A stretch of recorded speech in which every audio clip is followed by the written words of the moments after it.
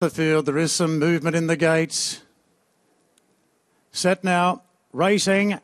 And uh, She Will Reign, the favourite, has jumped out uh, fairly.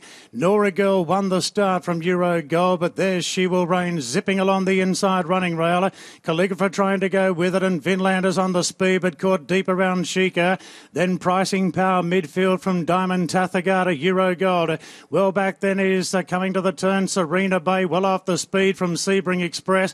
African Rainbow and Dunnotun is the last one. They're spread across the track. She Will Reign closest to the fence, goes through from Nora Girl. Then Sheikah, Vinland the deepest, back to the inside, Calligrapher and Pricing Power. Melham sits pretty quietly on She Will Reign, and she's got them all off the bridle at the 200. She Will Reign two in front. Pricing Power, Calligrapher doing the chasing.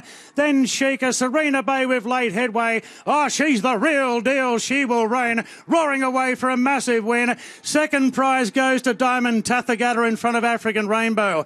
Then Sebring Express Serena Bay, Vinland. Couldn't hold a candle to the filly.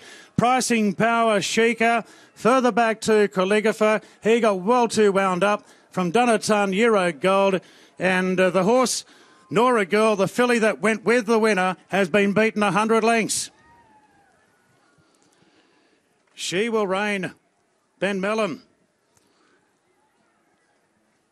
58.57 the time. 58.57.